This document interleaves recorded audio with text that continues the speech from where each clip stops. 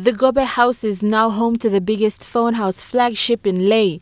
The doors opened for customers this morning and staff went straight to work selling phones in this new space. Operations manager Amy Tomlinson said this shop was a big investment and business in Lae with the established outlets has been good. A big investment, but we've got a lot of confidence in, our, in the Lae community and um, the Lae people have always been very loyal to Fone Haus. Um, we can't wait for everyone to come and see this new shop. But phones aren't the only things being sold here.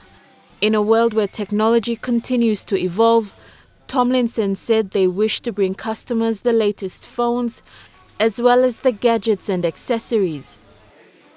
Um, but it was really important for us that we were looking to the future um, and PNG uh, is is riding this uh, digital wave. And in this Fone Haus flagship store, they've set up the Phone Geek section for customer queries on phones, the wholesale as well as the Phone Fix section. They're based in this shop, our three technicians for Phone Fix, um, but they service all the phones that are dropped off to all of our Fone Haus shops. Being a member of the PNG number one trophy house, there is also the new trophy house shop adjoined with the Fone Haus.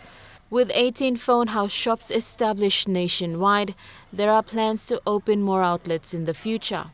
Lucy Kopana, National EMTV News, Lae.